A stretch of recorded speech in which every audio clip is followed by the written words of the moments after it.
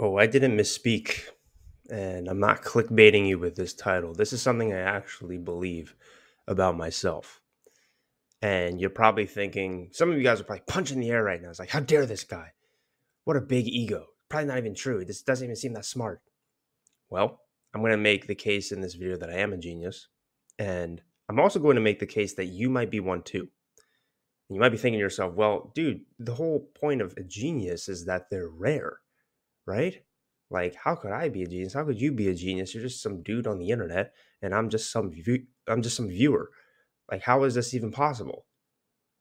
Like, what what are you even talking about?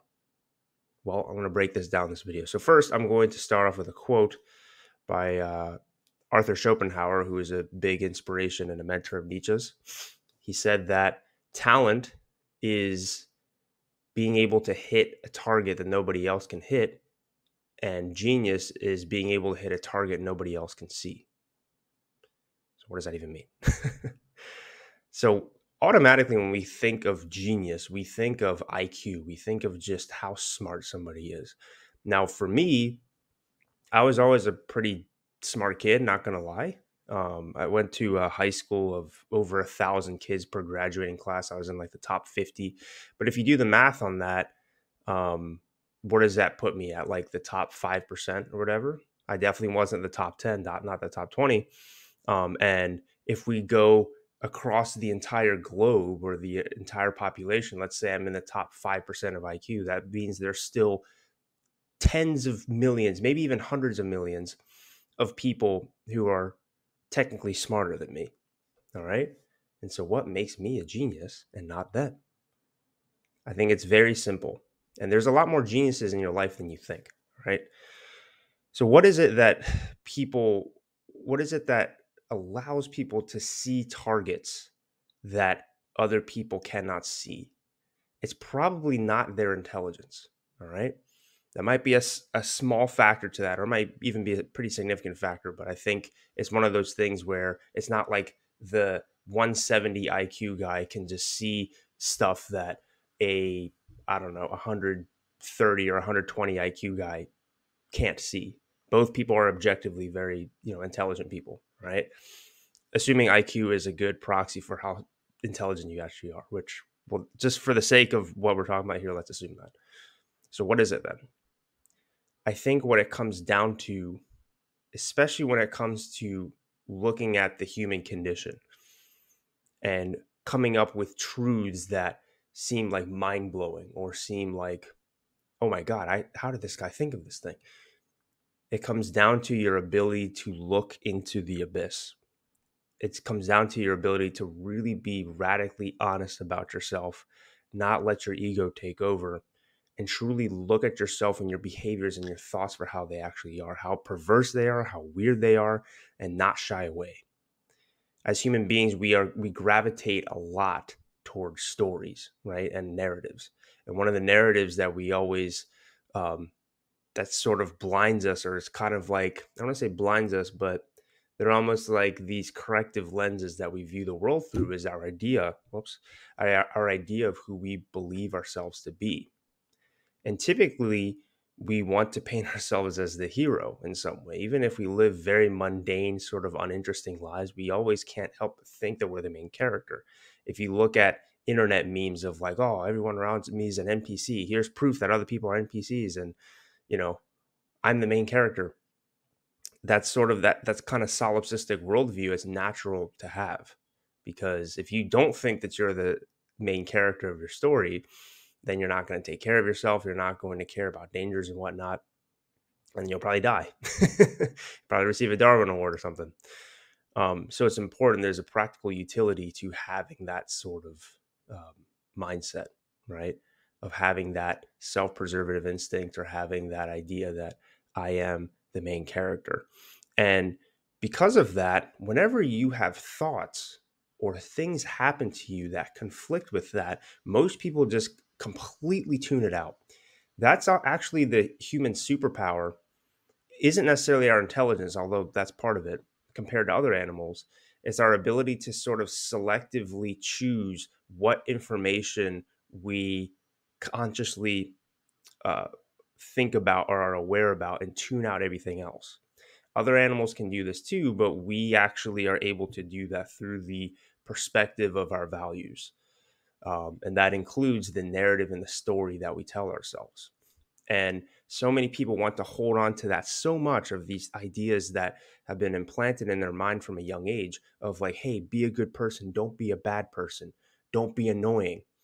That whenever something happens that conflicts with that self image that you have, most people just completely they, they throw it away, they bury it.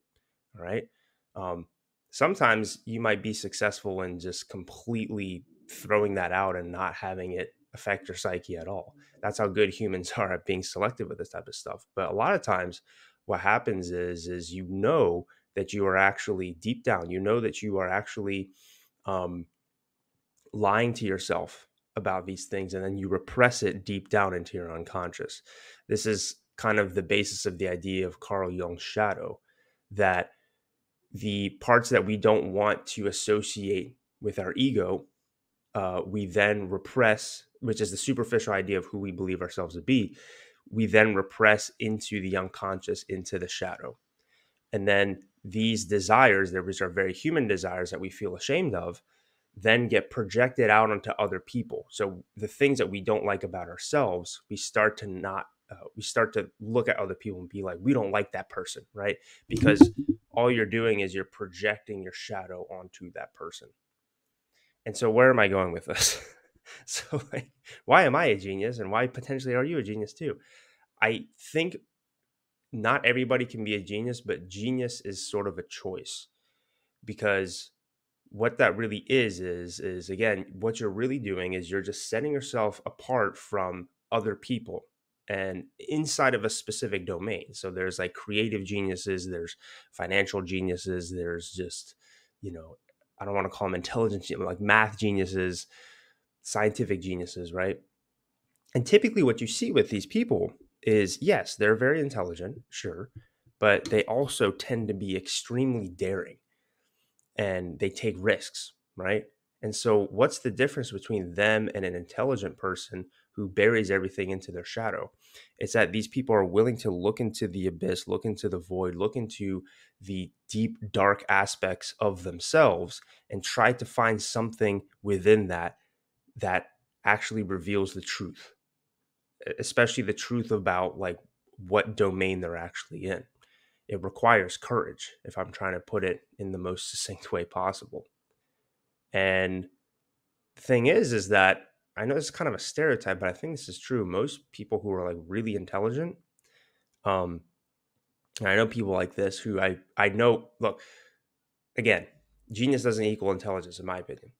Um, there's I, I know a lot of people who are more intelligent than me. Just like you just look at their SAT scores or whatever, which is like a proxy IQ test, and they got way higher than I did, right? So, so like probably more intelligent than me, but they're not geniuses and why are they not a genius because they can't create something new they can't create values they can't offer a new perspective because they these people tend to overthink they have analysis paralysis and so if you're one of those few people who are like you're a pretty smart guy and i think if you watch this channel you're probably already there you're probably already within that domain if these topics interest you. You're probably already a fairly intelligent dude. Really the difference that the, the thing that you need to do that will make you into a genius is overcoming that fear taking that leap not having that analysis paralysis.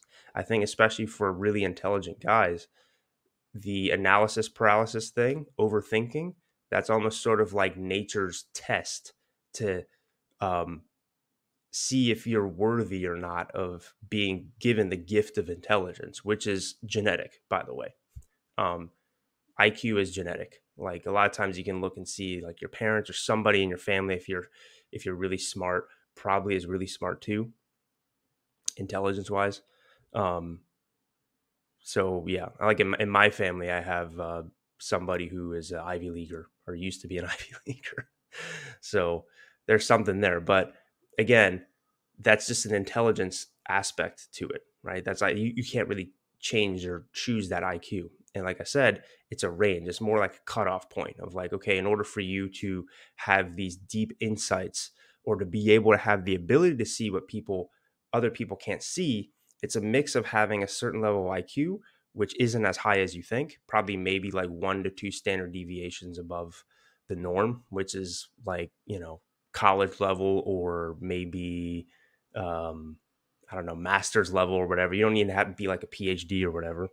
Not necessarily having those things, just having the ability to achieve that. And then and then you combine that with having courage and being daring. And when you combine those two things, again, a lot of people have this, not that, not many people have this. Far more people have an IQ over 130 than there are people who are courageous enough to actually stare into the abyss, observe what they find there, and then try to integrate it and, and into their lives and then speak that truth out. All right. There's far more people, uh, far less people, I should say, on this side. All right. So if you're able to combine those two things in any given domain that you're in, that's where genius is. And it's easier said than done because when you're scared, our automatic instinct, our fight or flight response comes up, right? Our automatic instinct is to just run for the hills. But if you're one of those few people that stands there and fight, even if it's just a psychological fight with yourself, then that's where the truth can be found. That's where genius can be found. This is one of the reasons that I'm such a big admirer of Nietzsche. Um, now, IQ wise, he freaking mogs me. I think he probably mogs all of you too. So this is why he was like a giga genius, right? Because he had that, he had the IQ aspect to him, sure, but also when you read him, he is it's almost relieving to see how not just introspective he is, but how honest he is about his shortcomings. He even says to like beware of himself. uh, he talks about how philosophy is all basically just a philosopher's con- uh, uh the psychological confession of the philosopher, including himself. And he's even critiques himself all the time within his own work uh, along with other people. And I think that that's extremely refreshing. And he talks about things that sound so ugly on the surface. But if you really are honest with yourself and you really do a deep dive into who you are, especially as a man, you're just like, yep, that's true. I'm talking more specifically about the stuff about violence and power, right? And so that's what makes him a genius because there probably are and still are, there probably were and still are people who have just as high of an IQ as Nietzsche did, but you never hear about them. And they weren't nearly the level of genius that he was because they weren't willing to go into the abyss. They weren't willing to go there. It's almost like if you're given, if having a high IQ or high intelligence is like given all of these tools to help observe the void that everybody's afraid of, and then you never go in there, right? So it's like it's better to have the lack of tools go in there, discover some things. That person's more of a genius than somebody who never goes in there in the first place, even though they have all the tools to observe those things. With Nietzsche, he had both, right? And that's why he's a, as Jordan Peterson called him, he was a one in a billion type of thinker. Those people are very rare. Now, do you need to be? Am I the level of genius that Nietzsche is? No. I, I think that's fine. That's a high measuring stick to to put yourself up against. But and I talked about this in earlier videos about how it's important to have pride, right?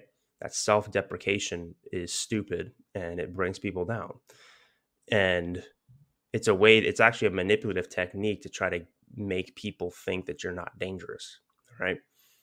And so I think this is the case too. If you're honest with yourself and you look at your life and say, yeah, I'm a smart guy, but also I'm a guy who has taken a lot of risks and I'm very daring and I do daring things that most people aren't willing to do. And because of that, I'm able to come to these insights that most people don't have. I think that's fine to call yourself a genius. It doesn't make you an egomaniac or whatever. In fact, like it takes a lot of courage to say that because you understand that there's going to be backlash to it. That people are going to be like, oh, what do you think? You're better than me? What do you think? You're better than everybody else? Like they're going to think that you suck. So it takes courage to say that if that's something you truly believe about yourself, especially if you think that you earned it you know? And I, I really do think, I mean, these are the types of people that Nietzsche wrote for, what he called the, the higher men. People who are, you know, willing to, to look beyond good and evil, right? I think it's okay to call yourself that if it's actually true, if you truly believe it deep down. And it doesn't have to be from the standpoint of like, I am this way because everybody else is stupid. No, it comes from, because that's just a reactive way of thinking. It comes from more of the standpoint of, I have these gifts that are given to me, whatever, and I'm fully utilizing these gifts. There might be some people who are even more gifted than me, but they're not utilizing them and they're not they're not willing to go to where they need to go to actually use these gifts that you're given to their fullest ability. That's where genius lies. If you have the courage, if you're willing to go there and look at the people that, if you don't believe me, look at people historically who are considered geniuses. At some point, almost all of them had to take some leap of faith or some great daring risk that catapulted them into fame or notoriety for being a genius. That's the thing that sets it apart. Courage is much more rare than intelligence. And that's something that's in your control. Well, I've been talking for a bit. I actually have to, what time is it? Yeah, I have to hop on a coaching call soon. Um, really hope that you found value from this video and you don't take away that like Kevin is just an egomaniac, me- megalomaniacal a hole. And I hope this inspires you to take pride in yourself and to to have courage in looking at the things that most people don't have courage to look at. And because of that and taking action on it and because of that you excel in whatever field that you're in. I really hope that that message came across because that's my intention. Anyway thanks so much for watching and i will see you in the next video. Goodbye